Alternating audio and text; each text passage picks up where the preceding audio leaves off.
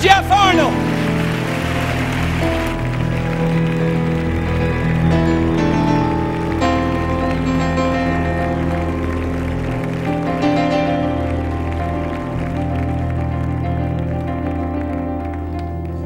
Thank you.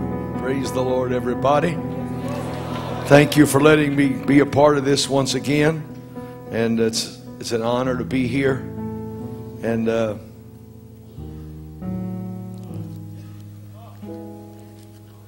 as soon as I finish, it's over.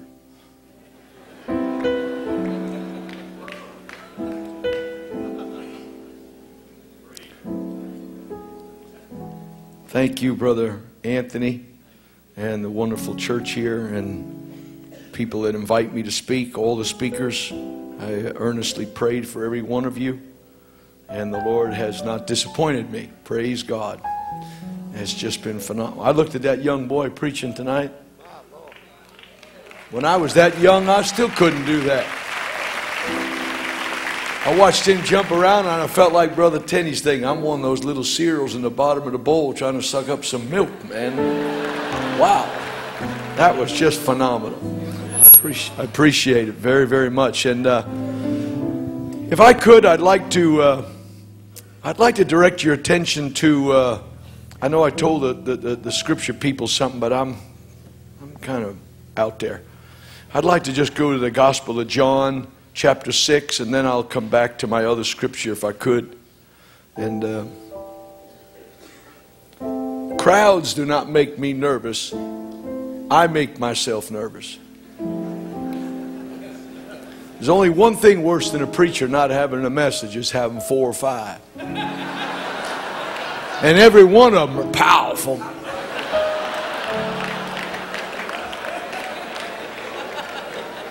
I wish Brother Huntley's here. Brother Huntley had to go.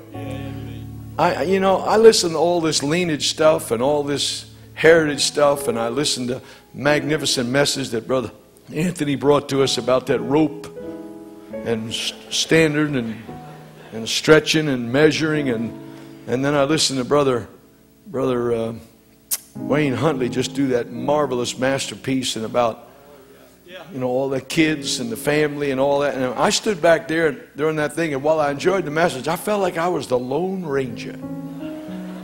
I have no mother, I have no father, all my family's dead. I have uh, rest of my relatives all think I'm out of my mind.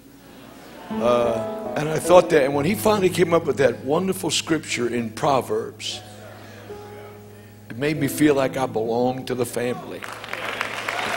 And I thank God for that. And I thank God for you. I've had so many fingerprints on me. If I don't preach good tonight, there's something wrong. I mean, I've had people prophesying over me, praying for me, sending me stuff, calling me, and like, wow. They must be worried about me. Okay, that's enough. Let's go. John chapter 6, and I want to read beginning with verse 5. When Jesus then lifted up his eyes and saw a great multitude company, a great company come unto him, he saith unto Philip, Whence shall we buy bread that these may eat? And, and this he said to prove him, for he himself knew what he would do. Philip answered him, Two hundred penny worth of bread is not sufficient for them. Now, watch this Pentecostal concept that everyone might take a little. We're, we're the original inventors of minimal daily requirements.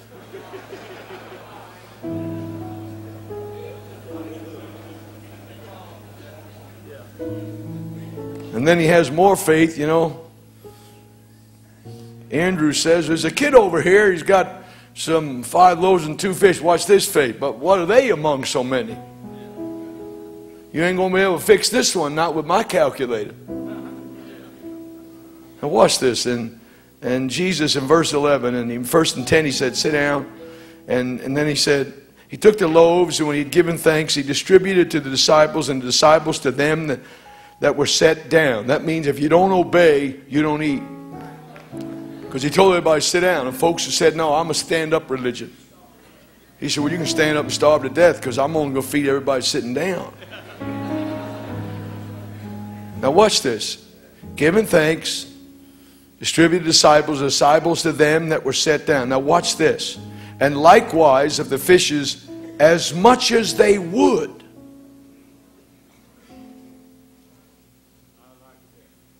And when they were, oh, there's that F word, filled.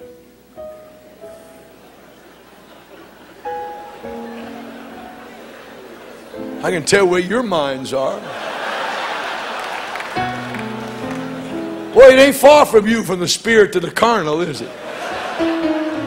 You need to turn off your video. and when they were filled, he saith to his disciples, Gather up the fragments that remain, that nothing be lost. And they gathered them together and they filled 12 baskets of fragments of five barley loaves, which remained over and above. Now let's get the picture. If everybody can take a little, take all you want, man. Get yourself full. I'm, I'm Jesus, the maximum man. Forget about those crazy apostolics who are the minimum people. Take all you want. Pig out. And then and pick up the crumbs and the scraps. And they took the 12 baskets full. Correct? I got a feeling coming back from you people right now that you, you think you know what I'm going to say. I hate it when I get ready to preach to people in my own church and they go, Oh, I've heard that. I want to just jump up and say, Yeah, and I hear your dumb choir sing the same stuff every week, but I act like I like it.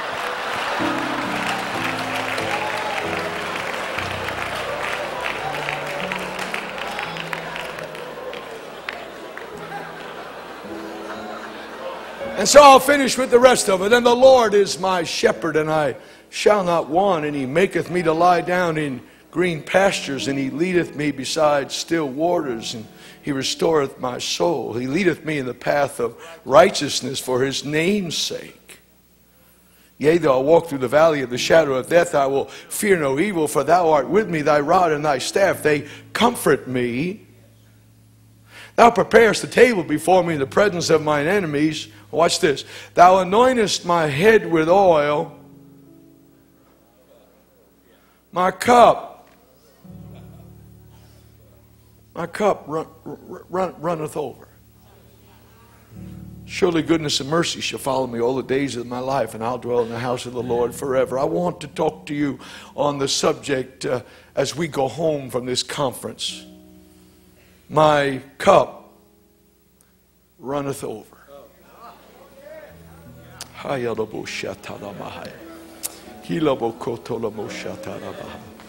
My cup runneth over. Father, bless the ministry of the word and please help me to be a blessing to your sweet people. Help me not to belabor this point, but to just do everything that you want me to do in the few moments that I have. In Jesus' name I pray. And, and everybody said, Amen. God bless you. You may be seated.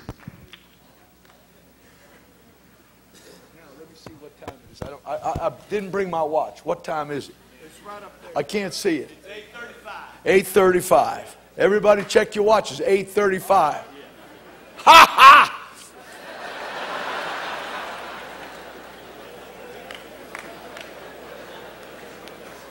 My cup runneth over. I'm going to make you preach with me. My cup runneth over. Going to try to tell you when you get home your cup is empty, but you got a cup that runneth over.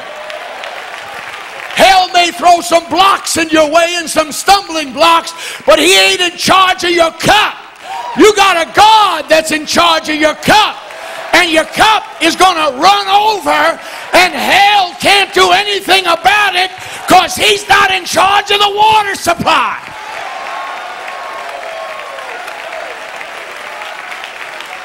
My cup runneth over. Before we leave tonight, we need to understand that God is not a grudging God. He's not stingy. He's not minimal. He's not grudging with his goodness, nor his gifts, nor his blessings. He gets a kick out of blessing you. He enjoys blessing you. The Bible said he himself is measureless. Therefore, one of his attributes, which is goodness, is also measureless. One writer said, So great is his mercy that he delights in mercy. He is rich in mercy. As the heavens are high above the earth, so is his mercy towards them that fear. Oh, I can't get a witness here nowhere yet. Yeah, uh, I, now, if, if you can charge me, I, will I'll fix your carpet later. Uh, my, my, my, my cup. Ah, my cup. I'm going through a bunch of hell. Yeah, but my cup just keeps running over. I'm run I'm running out of money, but I'm not running out of cup. My cup runneth over. I may be a little low on cash, but I'm not low on the love of God. I'm not low on the mercy of God. I'm not low on the goodness of God. My cup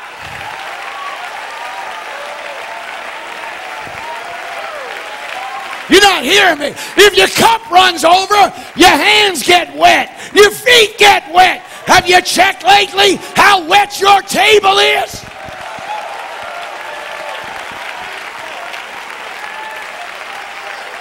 Shout at me. I got some trouble. But my cup, it just keeps running over and over and over and over. my cup runs over. You, you can sit down. I didn't mean to wake you all up at once. You know, you're not getting it yet. You, you get them and I wrote the notes. I know how good it is. Just, just, just stay with me. Watch. You got to start looking at God while you leave here. Because, like I told Brother Keys, you can't just pick this up and take it home in your church and go, and it takes care of everything. It won't work like that. You'll get home and there'll be divorces and there'll be messes and there'll be problems and there'll be devils been doing push ups to stay in shape, waiting for you to get back home. And then you'll walk in and say, Where's the feeling? I don't need the feeling. Let me tell you what I brought back.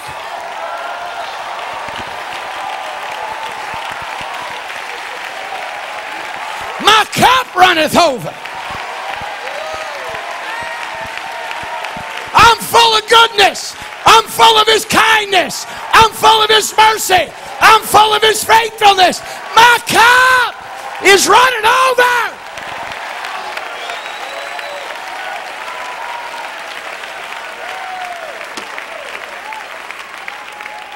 You can sit down. Watch what Paul said, Rev.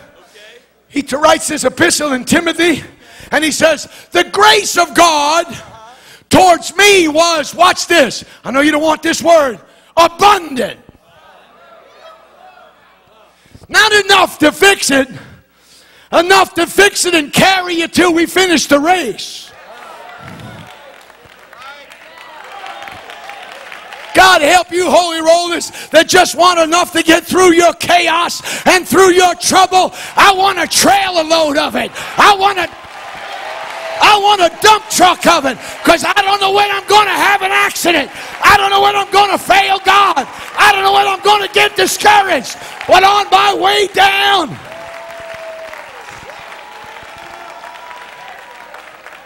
my cup still runs over.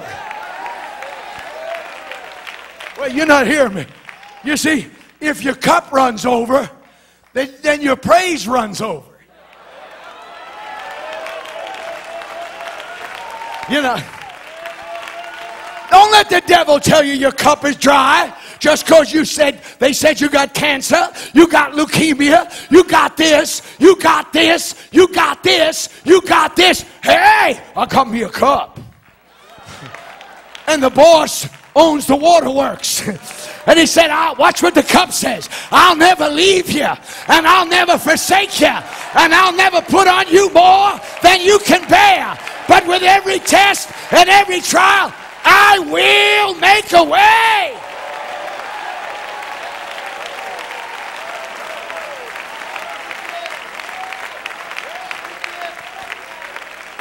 Grace was exceeding abundant. You sit down. I'm all right. I wrote the notes. I know what I'm doing. I'd like to help someone. I, I watched this tremendous thing that Sister, God bless Sister Mickey, did that phenomenal deal. And I watched all these hurting people up here. You know, it's amazing how we can talk in tongues and shake and quake and throw down and do our moves. And then all these bleeding people and all these wounded people and all these hurting people. Listen to me. If you don't remember anything else I say, listen to this. The good, here we go. This is going to be revelatory. Lehman, once in a while, jump out of your seat if you don't mind. You ready? The good, here it goes, outweighs the bad. You got more blessings than you got burdens. You got more sunshine than you got darkness. And if God be for me, it doesn't matter who or what is against me. Because my cup over. Before you're seated, turn around, imaginary cup, toast somebody. Wait a minute, no, no, no, don't do that silly Pentecostal. No, spill it on them. Go off. You ought to come out of your church service looking like you're all wet. What's happened? I'll tell you what happened. The cup that the Lord has put in me is overflowing. It's blessing. It's unending. One writer said, There is a river that make glad the city of God. You, you, you can sit down just for a second. Just bear with me just for a second. The good outweighs the bad. Yes, it does. Consider Abraham and Lot. God, the cup in their life was so fabulous. They had so much stuff, they couldn't eat in the same place. They had to separate. That was too simple for you. All right, let me try it. one of your criminal relatives. Maybe you'll relate to him. You know your criminal relative, Jacob? You don't think his cup run over? Now, for 20 years, it looked like his cup ran dry. My Bible tells me you can't find a record, at least I can't find it, that he was on Laban's farm. That's the funniest picture in the whole Bible. God must have looked at the angel and said, Watch the two crooks on the same farm. One's a liar and the other's a real liar. Two cheats trying to scam each other. Right. And my Bible says for 20 years you cannot find a record, a record where Jacob prayed. He left pregnant with promises and didn't pray for 20 years. Him and his uncle scammed each other, cheated each other, finagled each other. Watch this. And at the end of 20 years, what looked like a dry cup, all of a sudden the Lord showed up. Hey, Jacob. Hey, Jake. Hey, Jake. Yeah? Time to go home. Come on. Your, your, your cup's running over. Now, you see, you're laughing because you think I'm doing something with water. I ain't going to hurt this dumb carpet. You're not getting it yet. You can go on a long time where God seemingly has not talked to you. And the only one that's talked to you is the devil who said you've run out of it. You got an inverted cup. You got a dry cup. But I own a cup that my master said anytime I want to make it spill over, I'll give you a fresh future. I'll change your past. I'll turn your tomorrow around. Let me try it again. My cup runneth over. Now, I'm not going to let you sit down. I want you people that say you believe your cup run over to give God some thanks right now. You got health, you got strength, you got soundness of mind, you got more money than you ever had, you got the peace of God, you haven't had you haven't had a nervous breakdown. The devil hasn't been able to take you out. Why? You got a cup that runs over.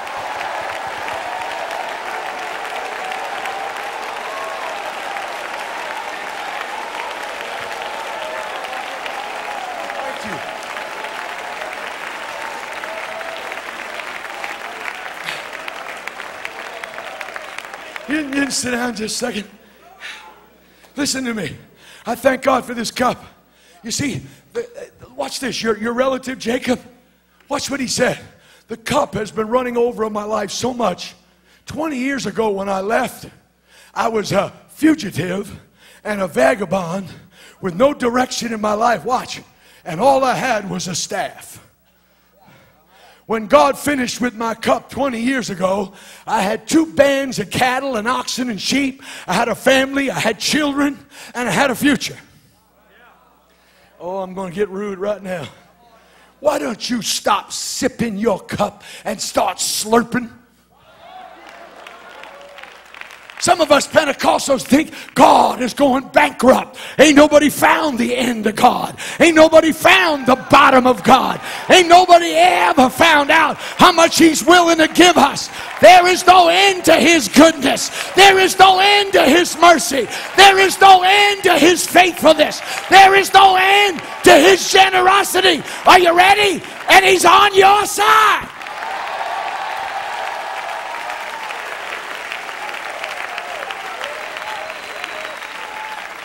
Well, I still, I've got about 35 of you.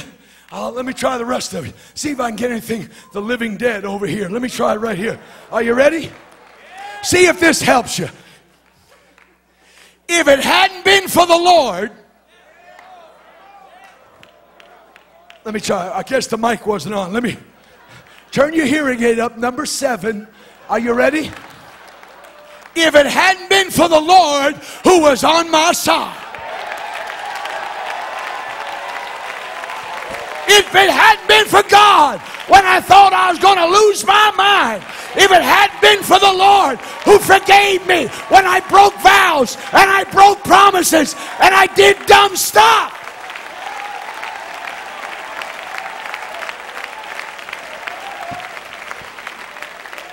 You can sit down. I don't. I, I, just, okay. You, you're not getting it yet. My cup. Samson. Lion roars on it. Rah.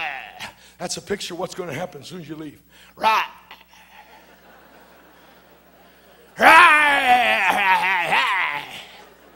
I love the way Samson does that. What's the matter with you, fool? He didn't put him down, he tore him apart. He ripped his jaw in two so he couldn't hurt nobody else. Now you're not it. Said, oh yeah, that moment in, in because of the times when we just shouted and boogalooed and jammed and threw down. Oh, we ripped that lion apart. What we're gonna do? But after the lion comes the honeys. Let me try it again. After your last victory, you need to go back to it because it might become a honey hive. It might become a place that you can get some fresh encouragement. You can get some fresh strength. You can read. Is there nobody in the house that has any dead lions in your life? Don't you have some past victories? Don't you have some things that you can look back over your shoulder and shout, if it had not been for the Lord who was on my side?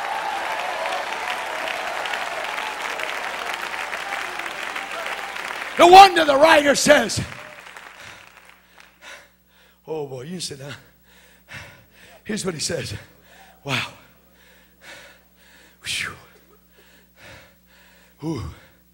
Out of the eater came forth meat. Out of the strong came forth sweet.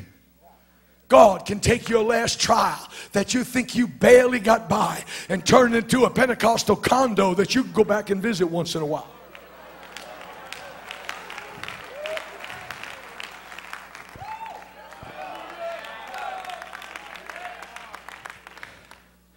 Listen, don't you get what hell's plan is tonight? It's like the it's like the Garden of Eden.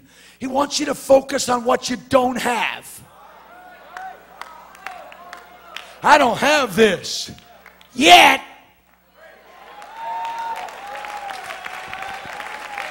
You didn't get I don't have this yet. I don't have this yet. but my cup is running over. My He's the Lord of the harvest, and my cup is running over.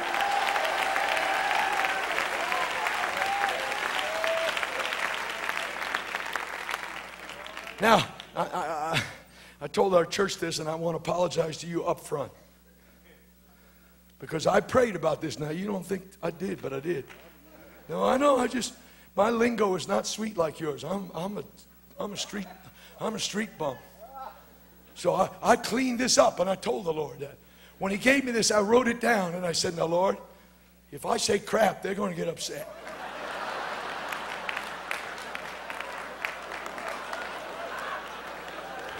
Now you think I'm lying? I'm not. I asked my dad, I said, now crap's a good word for me. I've used it all my life. But for you etiquette people, dirty poo poo.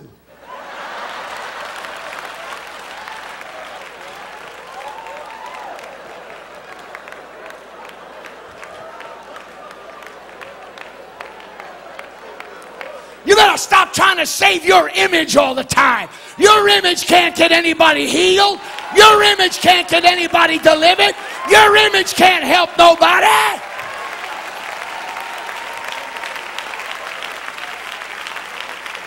So, so brother Eli, when I asked the Lord, I said, "Now, Lord, really, if I say crap, they're going to get upset. So I don't want to say crap. I, I, I need a cleaner word. So, so he, I felt like that. You might think he's not telling me, but I felt like he said, "Well, just use crud."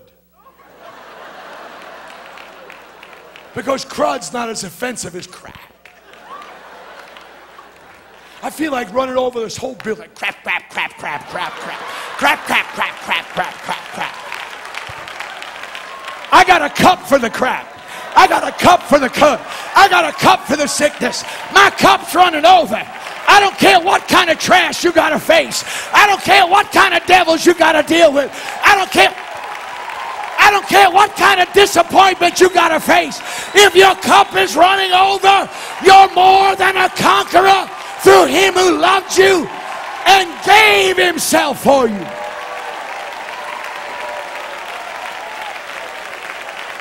Please forgive me. The things that come over this pulpit are not necessarily endorsed by the pastor.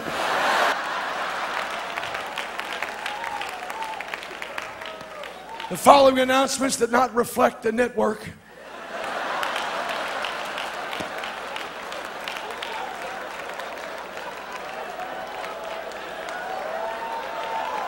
Here's what I'm trying to tell you. Stop focusing on the crud and start slurping at the cup. If you'll enjoy the cup, the junk, the trash, the mess will not destroy you. It will not defeat you. As long as your cup keeps running over, you are more than a conqueror.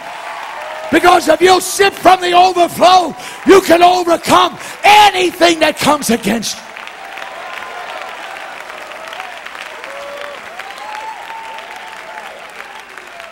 Now you get sit down, superintendent man. You're, uh, that's as dirty as it gets.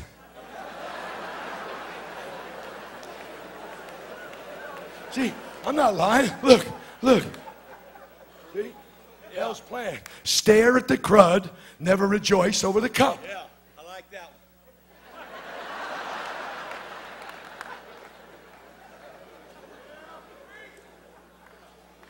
Don't you realize that you get to live at the level of an overflowing cup? You're not hearing me. When you live at the level of an overflowing cup, it immediately frees you from people fear. It sets us free from intimidation and people's opinions and what. uh, it lets us know that frustration will not destroy me. It frees us from people who are faith killers. Sometimes you don't need to get your prayer partner on the phone. You don't need to text message somebody. You don't need to email. My cup's running over. How's your cup doing? Every time I slurp from the cup, I'm more than a conqueror. Every time I slurp from the cup, greater is he that is in me than he that is in the world. Every time I slurp from the cup, no weapon formed against me shall prosper. Every time I slurp from the cup, nothing can separate me from the love of God.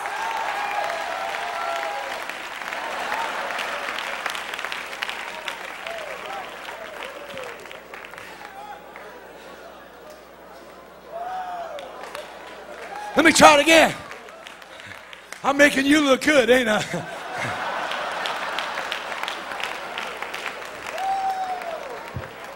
You ready? Stand up just a second. Ready? The cash goes. The cup stays. The friends go. The cup stays. The feeling flees. The cup stays. Opinions leave. His opinion in the cup stays. We are not an experiment. We are precious in His sight. We are His people. We are His body. We are His ambassadors. And your cup is overflowing.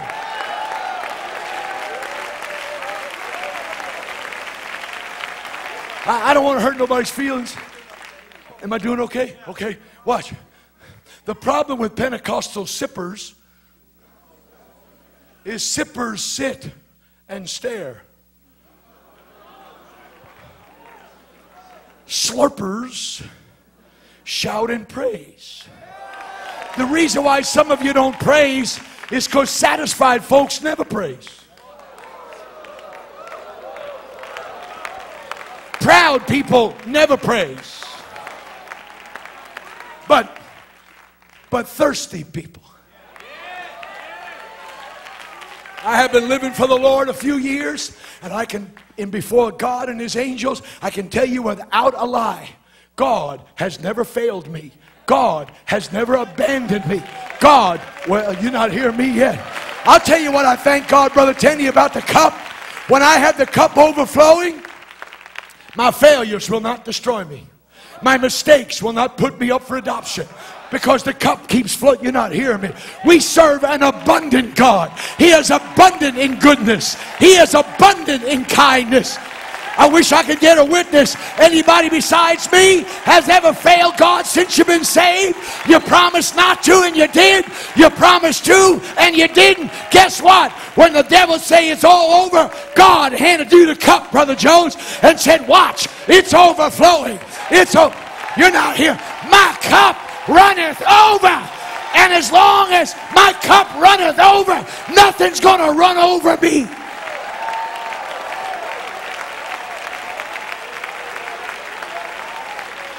I, can I? A few minutes. You can sit down. A few minutes. Didn't mean to bother you. Just stay with me just a second. God delights in a cup that runs over. You may be low on cash. Your life is overflowing with mercy. You may not have any special position, thank God for that. Your, your life is overflowing with pardon. You may have failed. I realize we're not allowed to say that in Pentecost because nobody's failed. Yuck, yuck, yuck. The only difference between a backslider and a failure is the failure stays in the church.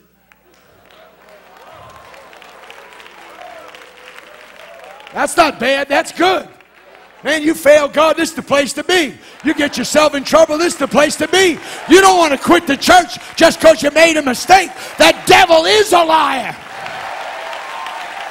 Let the wicked forsake his way, and the unrighteous man his thought, and let him return to the Lord. Here it is, for he will abundantly pardon. There'll be an overflow, there'll be a running over. He's not going to give you just a minimum. I don't want stuff just to get by. I want stuff to get going.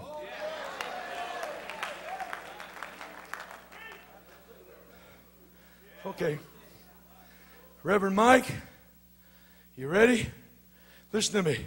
Just before he reads his scripture, you and I may have to drink from disaster. We may have to experience some stuff we dislike. We may have to deal with stuff that's exasperating. But the cup keeps running over. You may feel like you're friendless, but you have a friend in the cup that loveth at all times. You have a God that understands you and cares for you and loves you. Watch what one, one writer said. Bless the Lord, O my soul, watch, who daily, oh, you bunch of wussies, who daily, I can't hear you. He didn't load, that would be singular possessive. Loadeth, continues to load. When's the last time you got loaded?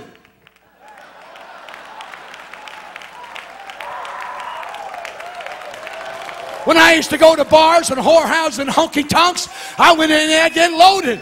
Once you get loaded, you don't care about nobody's opinion. You don't care about nobody's attitude.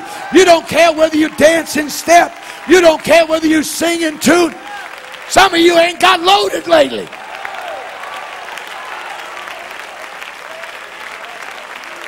Bible said, bless the Lord who daily loadeth us with benefits.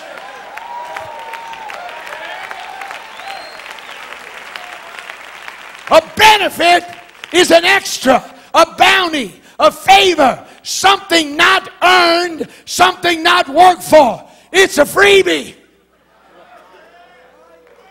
I'm, re- I'm ready right now, Stephen. You ready?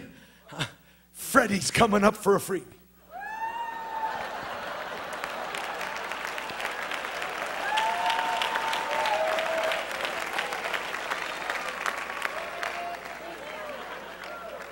You ever, you ever see people that got palsy and the shakes and all that stuff when they go to drink?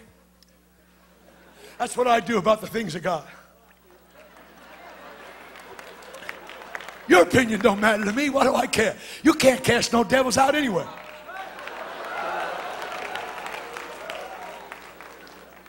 Let, us try it one more time. Time to toast. Time to toast. Ready? Watch out, it's coming your way, Jones.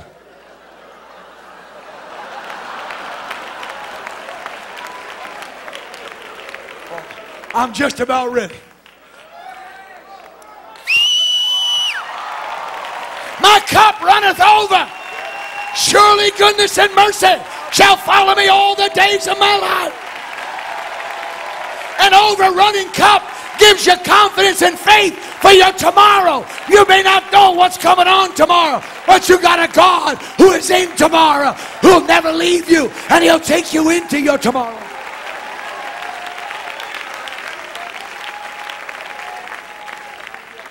You can sit down. I'm almost there. Almost being the key word. Bless the Lord, oh my soul. And what, what, what did you say? Oh, I want to ask you, holy roller folks. You got any stuff inside you can't bless God? Well, that, that was, yeah, that was. I feel like I'm preaching morals at the Democratic convention.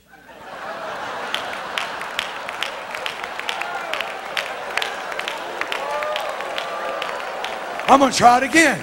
Come on, you, you're with me? You've been helping me. Bless the Lord, oh my soul, and all that is within me. If you've got something inside of you that can't bless the God of heaven, then ask forgiveness. Get it out. Apologize. Repent. Do whatever you got to do. Because God wants everything inside of us to bless Him. Bless the Lord, O my soul, and forget not all his benefits, who healeth all thy diseases, who forgiveth all thine iniquities, who restores your health.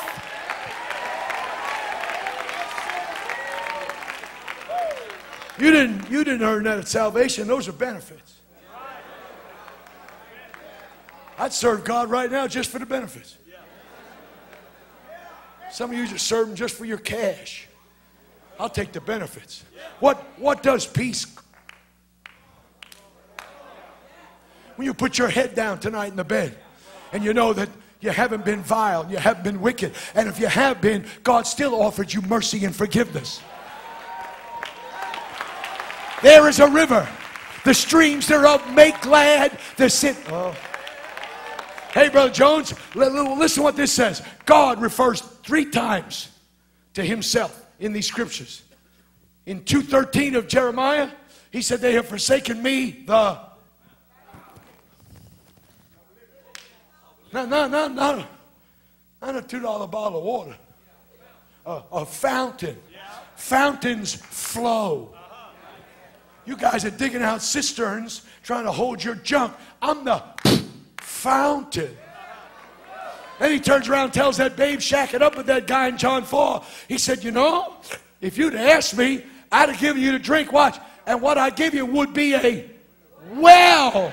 Watch this. Not that you got to go down and try to pump three ounces out, springing up into. If you got the Holy Ghost, you got a well inside you that wants to spring up into everlasting life.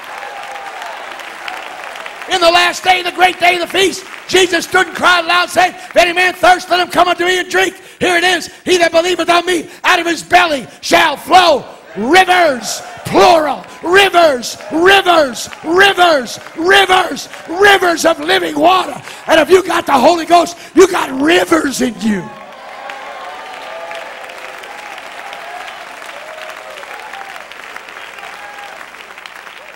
Give me just a few more minutes and I'll stop, okay? You ready to read for me, Reverend Mike? 86 5, 86 15. For thou, Lord, art Now, good. now he's going to read in English. Mucho Taco Bello. En sprechen Sie Deutsch? Uno, dos, tres, cuatro, cinco. Inglesia. When you hear the Inglesia, you do something. Uh,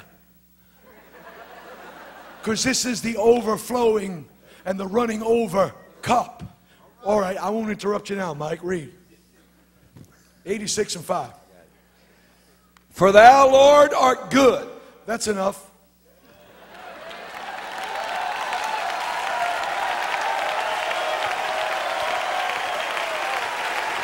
I said, Brother Beckton, he's a good God.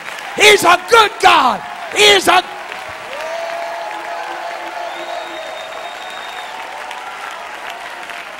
He's a good God. He's not stingy. He's not selfish. You ain't got to beg him. All you got to do is ask him. All you got to do is praise him.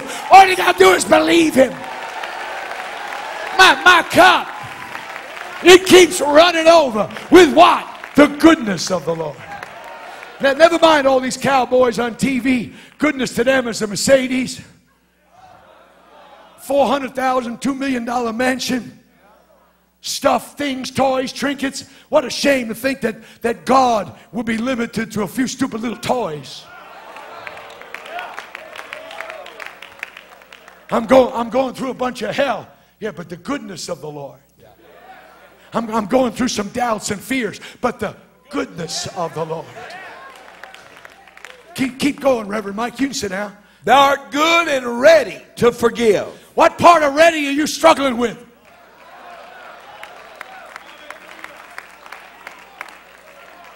I, I'm, not, I'm losing you somewhere. I know it's been a long conference and you want to go home. Me too. I just happen to be working tonight. Are you, are you getting it? You get that? And he's ready. It's like God is standing on the balcony of glory going, I sure hope that idiot asked me for some help. I sure hope he just confesses he made a mistake. He watched something he shouldn't have watched. He read something he shouldn't have read. He said something he should have said. He imagined something he shouldn't have.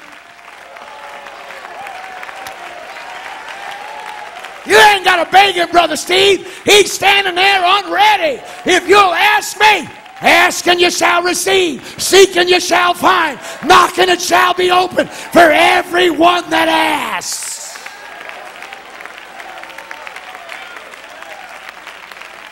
Please, please continue, Reverend. You're wonderful. Go ahead. He's good.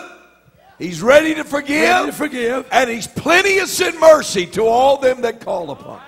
That word plenteous, one of the interpretations is measureless, limitless. He's plenty, not plenty like good and plenty. No, plenty S. God's trying to show you how, how, how neat and fantastic he is and how measureless is. He said, I'm plenty. And he just stretches plenty from one end to the other end of the universe, and it just keeps on going. And he's plenteous in, in mercy. Let me ask you something. When your cup runs over, you have the privilege of him talking to you. I have someone sitting here. Uh, I, I saw him in the auditorium before. I did something yesterday. It was very stupid. And, uh, and I thought it was cool, but it was stupid. And it was one of my friends. And uh, I just walked up to him because his, his hair was kind of hanging on the back of his shoulder. And I said, What are you doing? Growing a sweater? and, and I thought it was funny. And he kind of laughed. And I just kidded with him. And I left. 5.15 this morning, the Lord wakes me up. Says, I want to talk to you. I said, All right, give me one of them stem winder messages. I'm ready. He said, I'm very unhappy with you. I said, Why? He said, You showed disrespect to an elder. And you thought it was funny. And I didn't think it was funny. And I started weeping and sobbing and apologizing. And I said, You let me see that guy today, and I will go right up to his face and I will apologize and say, I was stupid and you're fine, and just please forgive me. Now, now you're looking at me saying, What's that got to do with that cup? Oh, if my cup wasn't overflowing, I would not be able to feel that conviction when I do something stupid. If my cup wasn't overflowing, Brother Keys, I wouldn't have the propensity inside of me. I just do like the rest of them, just write it off. Don't worry about it. No big deal. It's a big deal when God talks to me and turns around and says, I am not happy with the way you handled that situation. Did you do any damage? According to him, I must have done some damage. I apologized to this man. He said, Ain't no problem. I, I feel good right now. Pardon, pardon me. I got, I got to take a drink.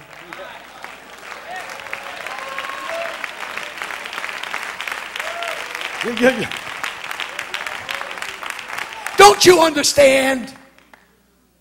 The reason God was so wonderful to bless Abraham. So he had all these stuff, and the guy said, God has blessed my master greatly, and he's got cattle and herds and children. I mean, all kinds of stupid stuff. Watch how it started with Abraham. Brother Morgan, watch how it started. You're faith man. Here's how it started Genesis 13. Soon as Lot separated from Abraham, the Lord turned around and said, Now lift up your eyes and look at all the land. Now notice, this was a selective lift up and look. It wasn't perpendicular, it was horizontal. He said, Look at all the land that I'm going to give you and your seed. Watch what he said. And your seed shall be as the dust of the earth. If a man can count that much, so shall thy seed. Please hear me. I got a word from God right now. If you don't think nothing else was, I got one for you right now. When I was in the motel getting ready here, God gave me a thought I've never preached ever in my life. He said, Tell my people that sometimes between the promise and the performance is the pause. God said, I'll make your seed like the dust of the, of the land. He said, Great. He was 75 when he got that promise. He was 85 and it hadn't happened yet. See, you have conception, gestation, birth. We Pentecostals want conception, birth. That's good. Good. Now, watch, I'm not finished yet. If you read Genesis 15, the Bible says that the Lord shows up in Abraham's life. I got it right here. And the scripture says he gives him a vision. Now, watch. He ain't done nothing with him for all these years. Ten years he's lived with an unfulfilled promise, pregnant with a promise, but it ain't come out yet. And the Bible says, and the Lord appeared unto Abraham in a vision. Why would you do that, Lord? Because my servant is getting fear images. You see, I'm going to help you. Morton, don't, don't get upset. I, I, I know what I'm talking about. Faith and fear both come to you by what you see, what you hear, and what you think. Now, watch. If you read the first five verses of Genesis 15, says the Lord said, I am their exceeding ward and I am their shield. Why? He just had that war with those five kings. He's scared to death.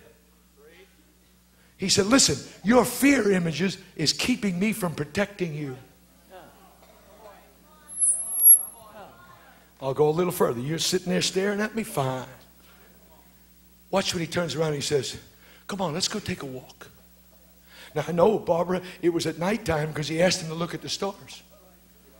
Now, he's had 10 years of a promise that ain't happened yet. And the promise is his seed. Now, watch what Abraham betrays. He shows God that his heart is full of fear and unbelief. He said, Behold, Lord, thou hast given me no child, and this Eliezer, my steward, he's going to inherit all my stuff. He revealed to God what was in his heart. He wasn't believing God yet because time had ripped away from him his confidence and faith in the original promise. Don't let delay defeat your faith in God. The pause belongs to Him.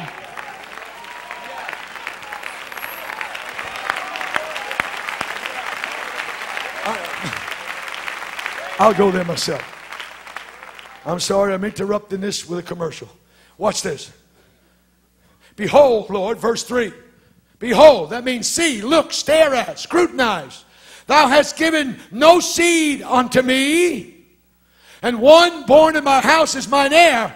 And the word of the Lord came and said, This shall not be thine heir, but he that cometh out of thy bowels shall be thine heir. And he brought him forth abroad and said, Look now towards the heavens. Watch this. God gave him a promise, and for 10 years he's studying the sand. God says, Man, you still don't believe it. Lift your head up now and start counting the stars. Now, this poor guy, I don't want to be rude, he's doing everything he can to believe God for one kid. And God says, They're all yours.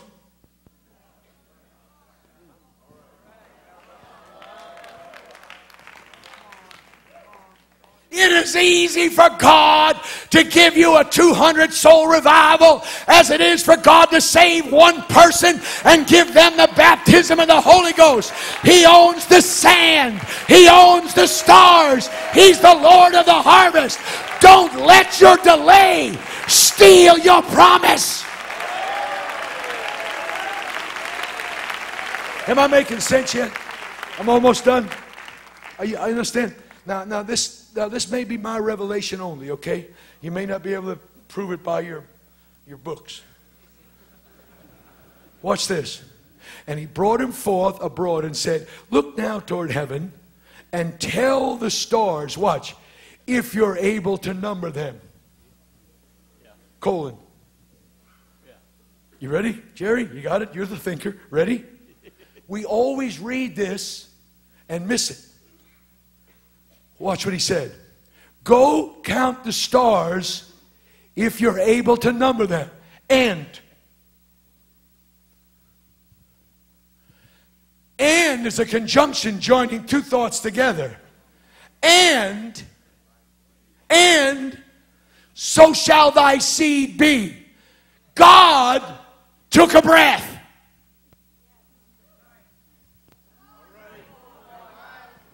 Look now to the stars and count them if you are able to. End of sentence. 1, 2, 3, 4, 5, 6, 7, 8, 9, 10, 15, 7, 10, 2004, 7. And and then I don't know how long it was till God said, and so shall thy seed be. You may get a direct promise from God. You may get a vision or a dream but you may not know how long the pause is. Keep believing God. Keep having faith. Keep praying. Keep stretching your hand because God is in charge of the pause.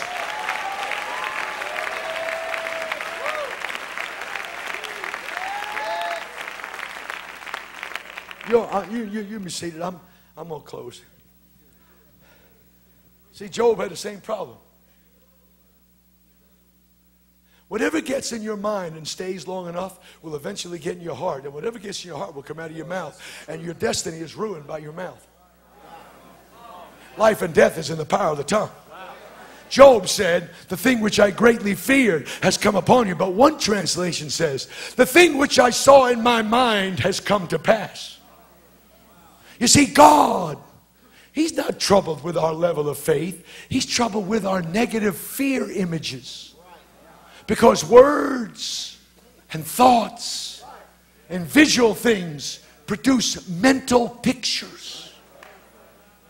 And what you hold in your head will impact your life. That's why I'm careful not to sit. Excuse my, excuse, I'm sorry, superintendent man. I got another nasty one coming up here. I'm, I'm sorry. I don't spend my time sitting next to nincompoops. I'm not going to sit next to some moron playing on their iPod, text messaging, checking on the football game, who won the NBA. I'm not interested in that junk. I got devils to fight. I got my spirit to crucify. I got situations to believe God for. I ain't got time to sit next to some faith killer. Somebody going to say, Well, I don't think that's possible. I don't give a flip what you think. I got a promise from God, and the cup is running over.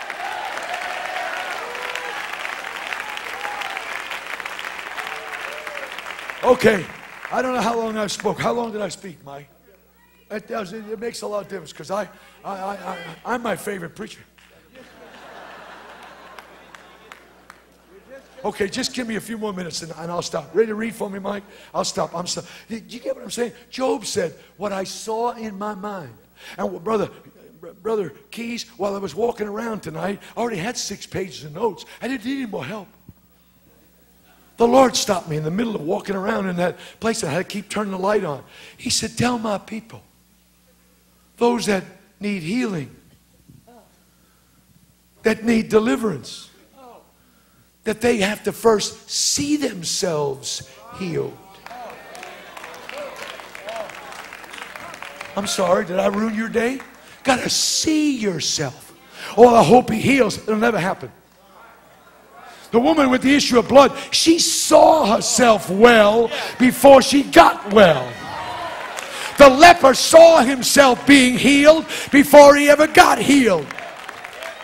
The Syrophoenician woman saw her daughter being delivered before she ever got a problem.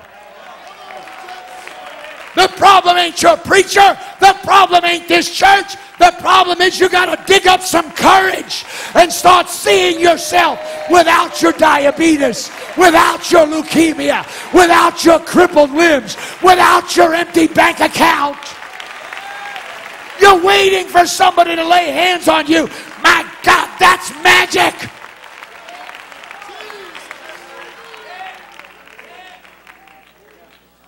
You can sit down, I'm almost close. Bible said, when Bartimaeus heard. Now, watch. Remember, you get faith pictures and fear pictures by words.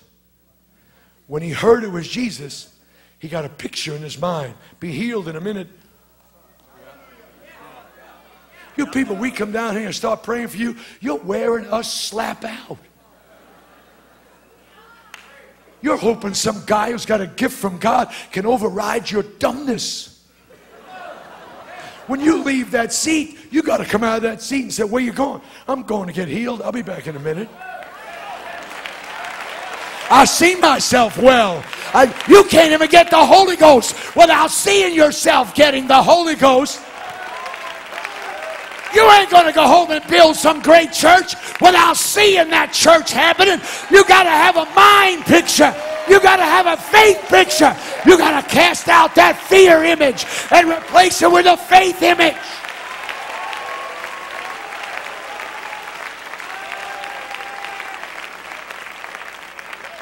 I'm sorry. I got a divided house on my hands right now.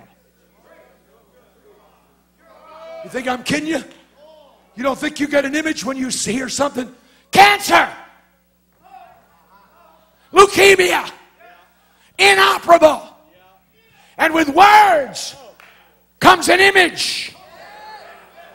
That's what Abraham said.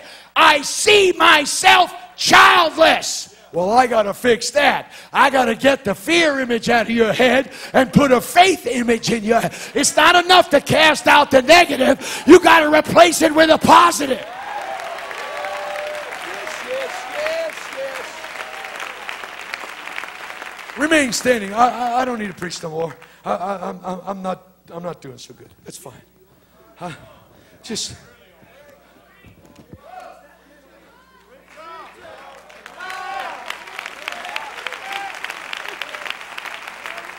When you sip from the cup, you can say right in the face of your adversary, I shall not die, but I shall live and declare the goodness and the mercies and the grace of God. Just stand with me a minute. I've been standing a long time. You think I'm kidding you? David. Watch what he says, Mike. Remember, out of the abundance of heart, the mouth speaking. I shall one day perish at the hand of Saul. That dirtbag couldn't kill you if he had an M16. You have a destiny that's going to outdo that moron. You're the only giant killer in Israel. You're running away from a jerk who's throwing spears. How, what caused you to do that? I saw a fear image. I'm, I'm going to die of this. God, you're not hearing me yet. I, am not doing any good for you. I'm so sorry. Watch. The Bible said he had a dust image for 10 years. Now, here's the scriptorian, but according to the scripture, it says, and he lived in Canaan 10 years when, when the Hagar issue came up. Remember that one? Right. But, but what? He only did that because he had a dust bowl image that was now being replaced by a fear image. So God had to give him back a faith image. So he takes the fear image out of his head and he says, So shall thy seed be. You ready for this? According to my Bible, he counted for 15 years. 7,465, 8, 9, 2,775,642 at nighttime when fear would try to grab a hold of him and, excuse my term, rape and molest him of this promise He'd just throw his head to the heavens and go, 2,753,000. Those are all my kids up there. 8,643. During the daytime, when he was struggling and walking in the wilderness, he couldn't see the stars. God said, That's okay. I'll give you some sand during the day. Count the sand. 8,265,943. 2,965. 8 trillion 965. Oh, it's sunset. 2,563,000. Sometimes all you can do is walk and count, walk and count, walk and count, walk and count. And when the fullness of time comes, the promise is going to happen.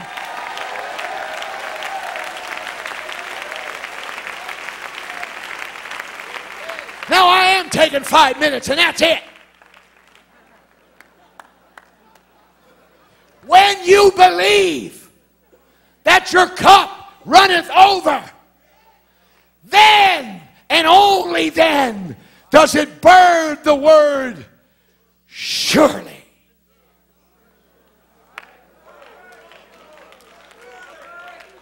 Sip.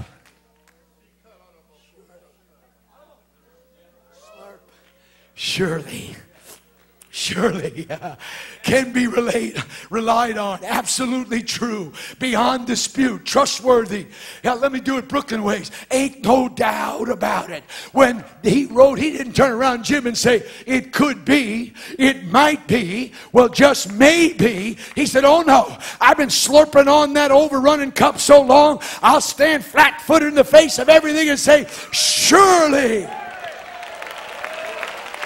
Surely the foundation of God standeth sure. God knows them that are his. Surely I'll build my church, and the gates of hell shall not prevail against it. If you've got a surely, you're unbeatable.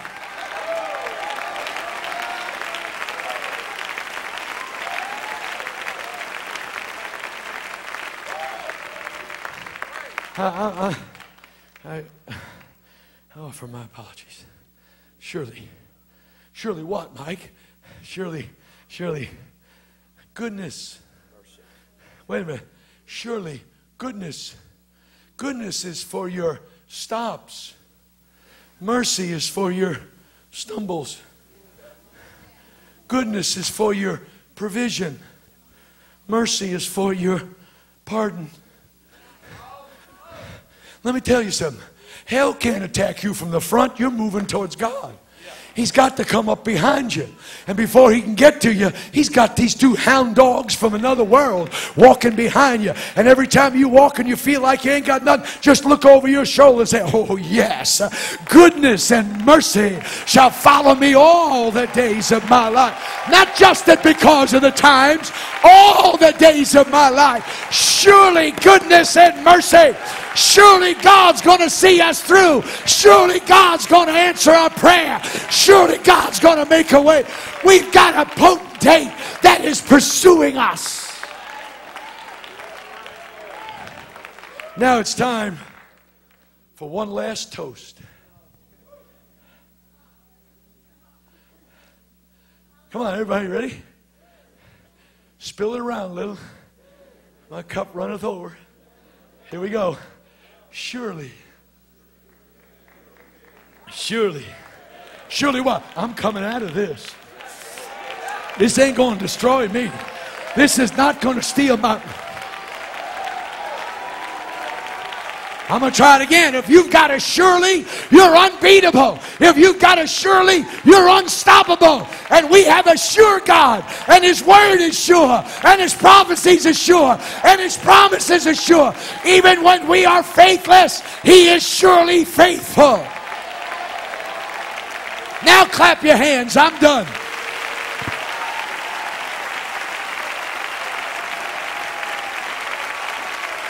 If He brought you out, He's going to take you through. And if He takes you through, surely He's coming back for us and we're going to be with Him.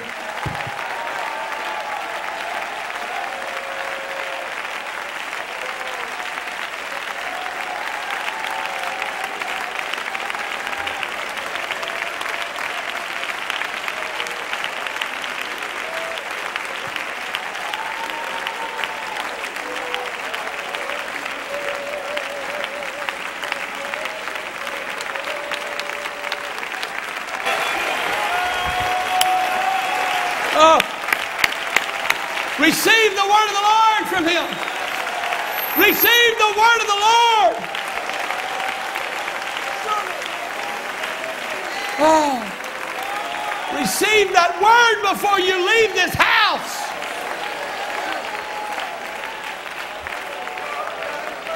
Every preacher, just step out and get as close as you can to the front. Come on. Just get as close as you can. If anybody's going to one of the doors, run over them while they're coming. Get, get in here as quick as you can. Come on, just get close as you can. That's it. Come on, preachers.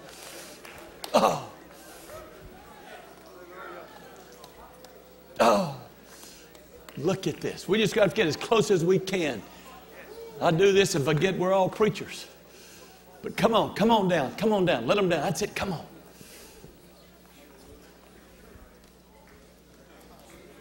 Yesterday, a couple of the men that helped me with this meeting spoke the word that we got to receive the word. God wants us to receive that right now. Now, we've had a powerful meeting. He's still preaching back here. Come on, say it to everybody. Don't just say it to them back Let me there. tell you something. Uh, scripture says that when Jacob was told by God to go back, remember, to Bethel, and he meets his past, Laban. If you read Genesis 31 32, he starts pleading the promises and he turns around and says these words You said to me that if I would return, here's what he said, you would surely do good to me. Next time you're facing a bunch of stuff and trash and junk that's trying to steal your faith and rub your nose in it, step back and said, Surely I've got a promise from God. Surely God is going to keep his word to me. Surely he is going to help me. Surely I'm going to overcome whatever I've got to deal with. If you've got a surely, you cannot be defeated. Praise the Lord for that.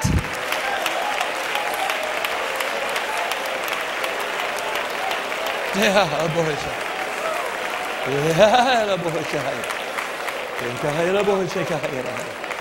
I told the Lord, I said, if you really want me to say this, I'll just have to call me up there. A few years ago, wherever Sister Mangun's at, Sister Vest or uh, Mickey, I was going to talk to you after church. I went through a horrible darkness. You can't even describe it. And standing at a kitchen sink, I was drinking a cup of water. And the Lord said, How many ounces will that cup hold? I said, I don't know, Lord, 10, 12, 8, I don't. He said, That cup is only designed to hold so much. He said, I want to ask you a question. Can you drink the cup? We always preach that the cup's the cup of sin in the garden, but really it was the cup of suffering. The mother of James and John said, Let them set one at the right and the other the left. Can they drink the cup? And so at some point, all of us will drink from the cup of suffering. But the enemy tells us it'll never end. But that cup's only designed to hold so much. And Brother Keys at your missions conference, I don't know if you remember, Sister Vesta Mangun was there speaking, and she turned on me. She didn't even know what was going on. And she said, I feel to give you a verse out of Isaiah, and the cup of trembling I will take out of your hand, and you will drink it no more. I'm going to give it back to your enemy. And I said, Okay, Lord, I understand you're trying to tell me something.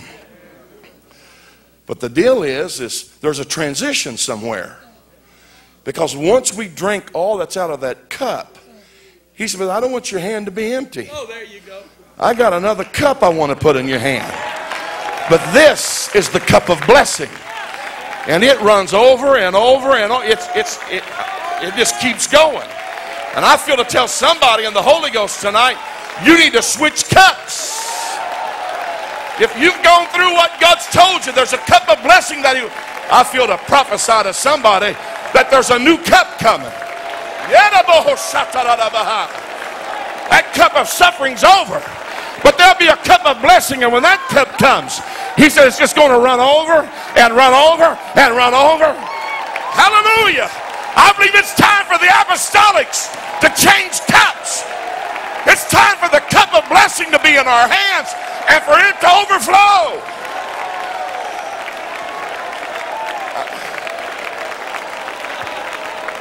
But the problem is, but the problem is, is if you're not careful, that cup becomes your identity. Every time they see you, they see you that cup and you're just sipping. You know what? You might as well get ready for it. If you don't drink it, you're just going to get bitter. It's time for some of you to finish drinking the dregs of that cup. Woo! And then you need to say, okay, Lord, it's over. I'm through. I receive now the cup of blessing. Hallelujah. I am going to have an overflow. I am going to be blessed of God. My cup will run over. My cup shall overflow. God wants to pour it out on somebody tonight. It's time for it to happen. Receive it right now in the name of Jesus. My cup runneth over.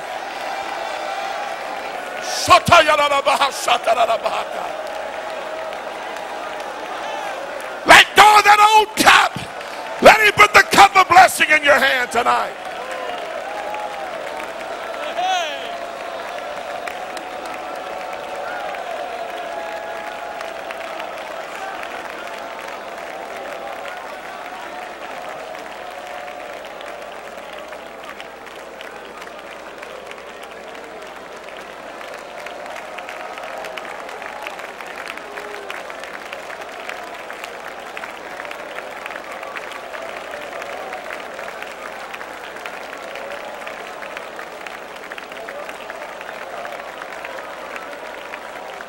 something beginning to flow in this house that's going to take us into a great dimension of faith to leave here with.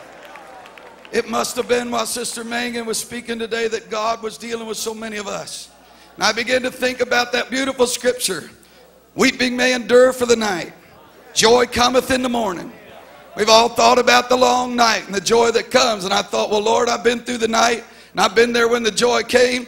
The problem was night came again. But every time night comes, morning comes. We think about a day in terms of morning and night. But when God made the world, He said the evening and the morning were the first day. It ain't over till the morning comes. That when the day completes itself, and it doesn't matter. Night will come in cycles, but the joy will come with every cycle because He's going to make a way out of everything you get into and there is a dimension of faith in this place. I'm just here to prophesy. You're coming out of what you're in. You're coming through the valley. You're walking through now. The joy is coming. They preached to it today. They told us to receive it. Let me tell you what God wants us to do in the season we're in right now. We need to start seeking God for the gift of faith. Because the gift of faith is a gift that comes from God. We can't comprehend what this man preached tonight because it's the goodness of God, it's the grace of God, it's the abundance of God. He's able to do exceeding abundantly above all we can ask or think. I can't think it good enough. I can't imagine what God wants to do. He said, That's no problem. I'll gift it to you. I'll put it in your mind to believe me for what I already want to do. I'll gift you the faith that's going to produce the miracle. I don't want you to strain for it, stretch for it. I want you to lift your hands up. There is a downpour in this house right now of the gift of faith. And when we get done receiving it, there's going to be working of miracles in this house in a few moments. Praise the Lord for the gift of faith right now. Come on, lift up your voice. I prophesy that the gift of faith is being released in this movement. We're going to begin to believe God and declare things that in the fleshly dimension are unreasonable. But in the spirit realm, they are the declaration of the intention of God. I release the gift of faith into you. I speak faith into you overflowing. I speak faith into you that'll move the mountain. In the name of the Lord Jesus Christ, receive it in this conference. Receive your faith right now. God, I pray in this season we're in that the gift of faith will be a gift you will grant this movement. Grant this United Pentecostal Church, every minister, every national official, every district superintendent, every pastor, every evangelist, every prophet among us, every apostle among us. I pray, God, let us flow in the dimension of the gift of faith, fearing nothing. In the name of the Lord. In the name of the Lord. That's it. Praise Him. Praise Him. The Lord is going to confirm this with the working of miracles.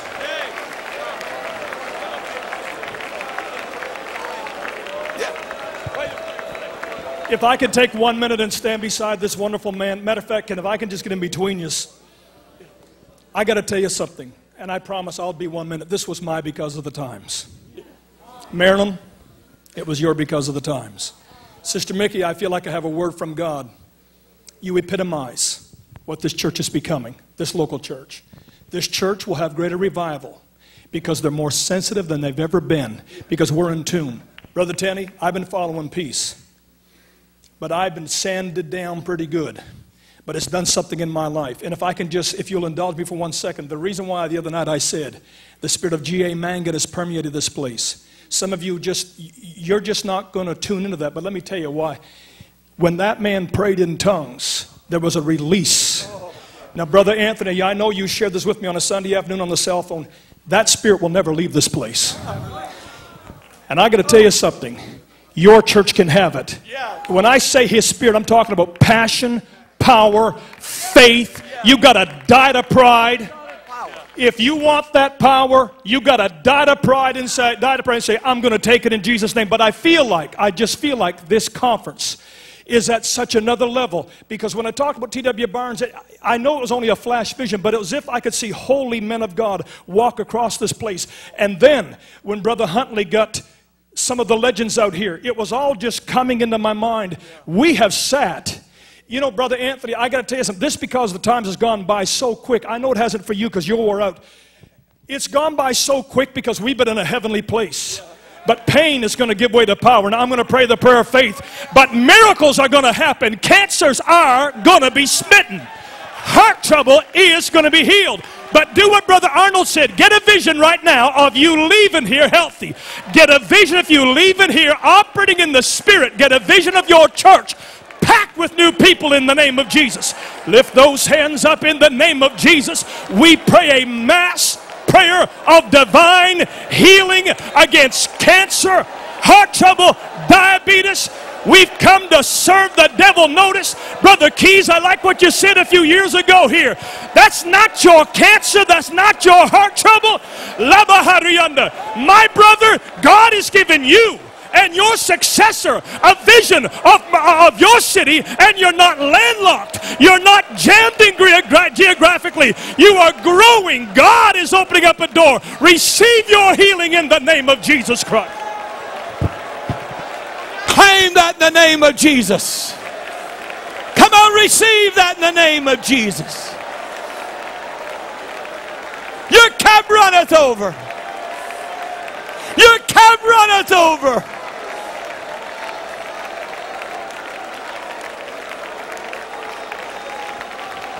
Whoa!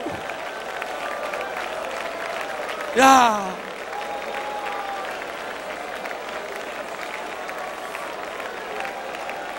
Now that was healing. Now that was healing. That was physical healing.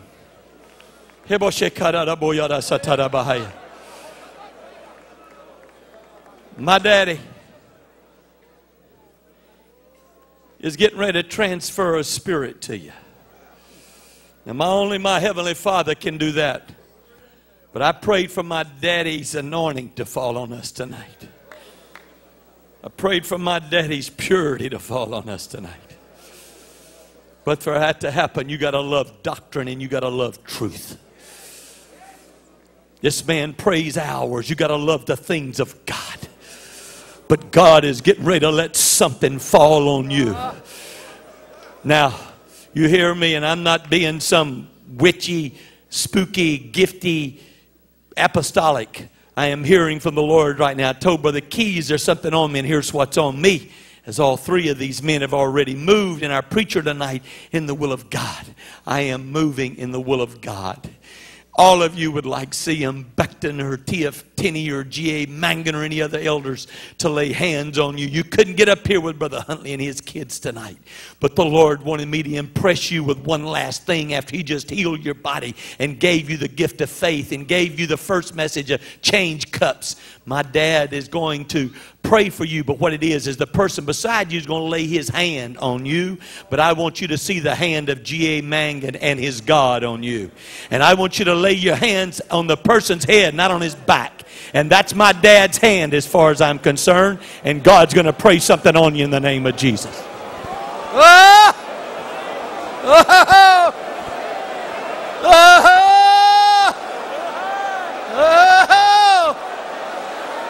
Oh!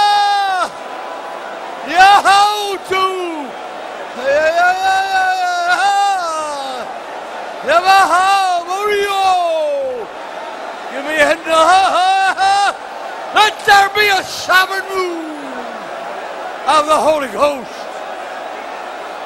upon every one of our ministers and people here tonight. You're walking in the midst of the seven golden candlesticks. You hold the church in your right hand.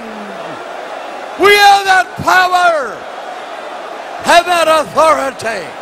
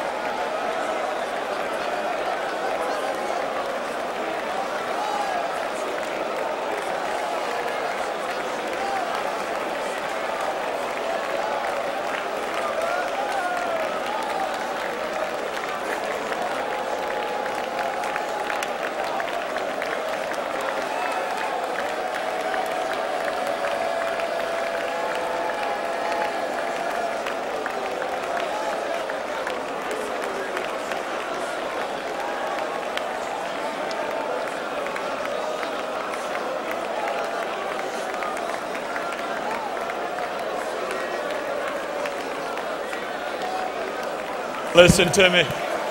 Listen to me. Woo. Listen to me just a moment.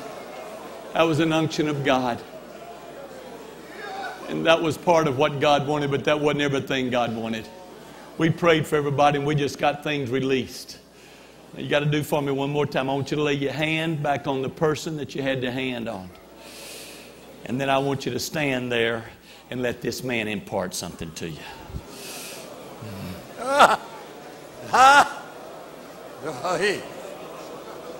Let there be a sovereign move of the Holy Ghost. Your love and power and your blood upon every person. Let every day there be a sovereign move of miracles of salvation and miracles of divine healing and miracles that supply the needs of your people wherever they are. You are walking in the midst of the seven golden candlesticks. And you hold the church in your right hand. The right hand of power and authority. Thank God that you honored me Listen, everybody. with the privilege of living in the latter rain of the Holy Ghost apostolic outpouring.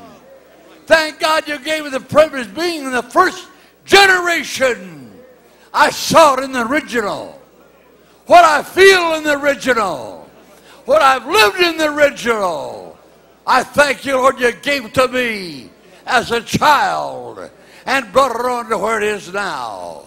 I pray that somehow, some way, that that sovereign move of God will be in every church every day, upon our people every day. If we are in your right hand, we have that power. There's no power greater than what we have. No enemy, no spiritual enemy, no political enemy, no enemy can stand against the power of the Holy Ghost. Let us realize that you're the God of heaven and earth and live by that apostolic of power and authority. Now I ask you send every one of our people home with apostolic power and authority.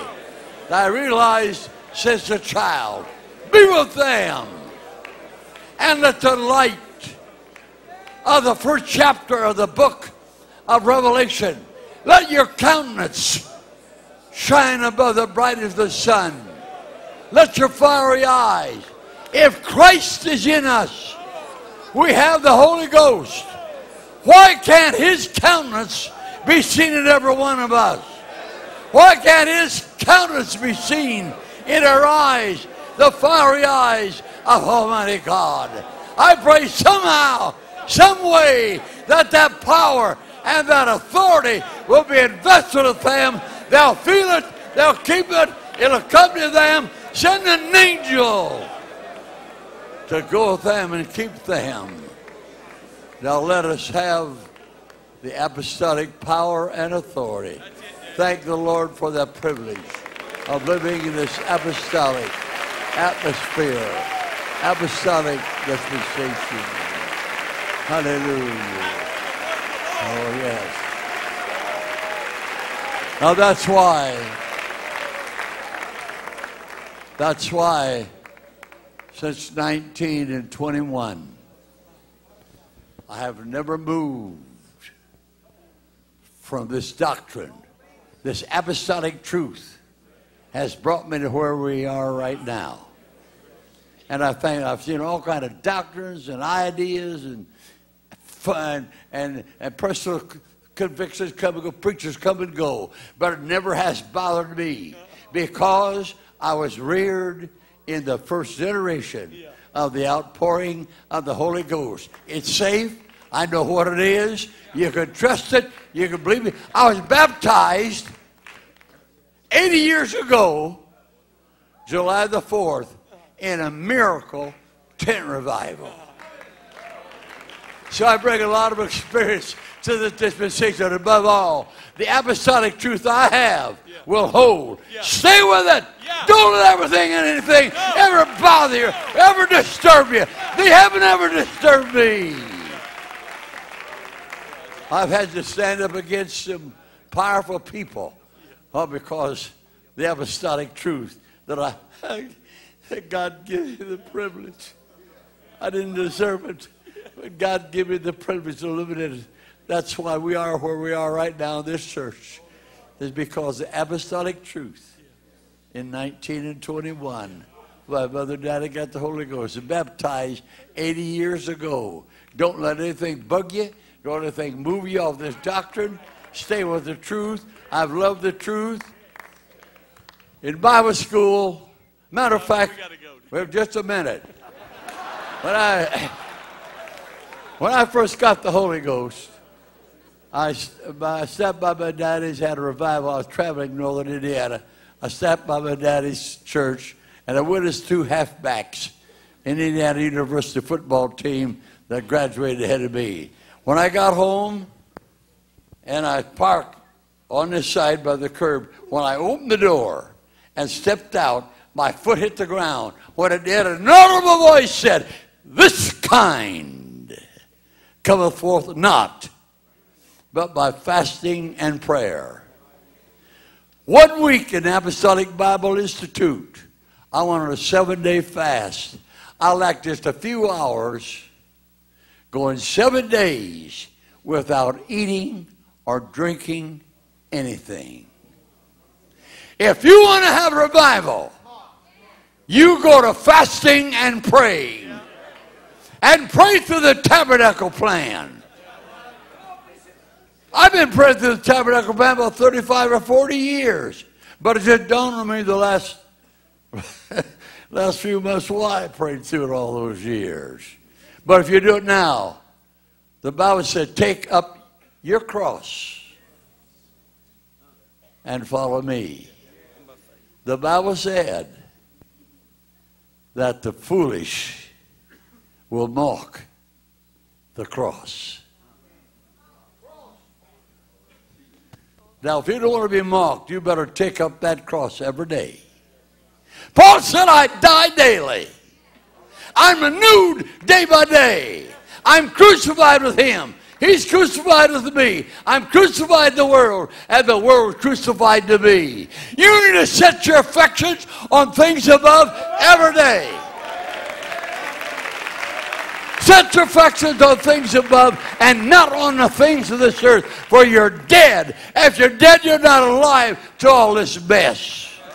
And if you don't set your affections up there, God's mercy is new every day. He's got something new every day for. If you don't set your affections up there every day, those affections are going to go out in strange directions. That's why you need to go to the tabernacle plan and hit that altar every day. Don't leave that house till you repent and pray, pray and ask God to move. The Bible said the foolish, the preaching of the cross is foolishness to those that don't. So those that don't pray through the tabernacle plan and take up your cross, uh oh, it could be foolish. You say it's foolish to pray through the tabernacle plan. That's what the Lord's talking about. Yeah. It's foolish. He says, I'm through. when I gave this tabernacle plan to the church about an hour and a half or so on video, he kept interrupting me. And I kept having things to say. When you have the privilege of knowing Pentecost in the original outpouring of the latter rain, nothing will ever change. You don't have, I've never worried about nothing. I've never let nothing bug me because I brought up as part of the lat- latter rain outpouring of the Holy Ghost. I'm not through, but I'll quit.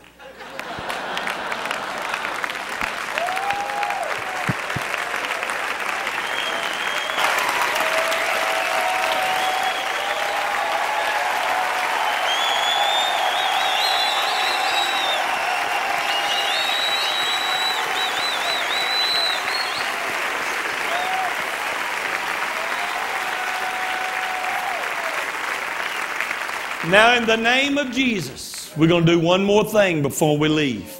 We're going to receive what's been spoken by Brother Arnold, what's been spoken by the three men of God, and what's been spoken by my Father, and His hands being laid on you tonight. And we're going to leave here with our cup running over. We're going to leave here with fresh faith. We're going to leave here with new desires. We're going to leave here with new consecration. We're going to leave here doctrinally sound. We're going to leave here with our mind made up. Now throw your hands up and shout as loud as you can shout and let the glory